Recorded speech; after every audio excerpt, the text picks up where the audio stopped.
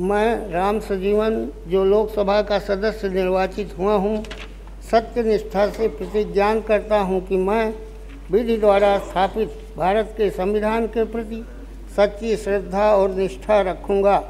मैं भारत की प्रभुता और अखंडता क्षुण रखूँगा, तथा जिस पद को मैं ग्रहण करने वाला हूँ, उसके कर्तव्यों का श्रद्धापूर्वक निर्वहन करूँगा।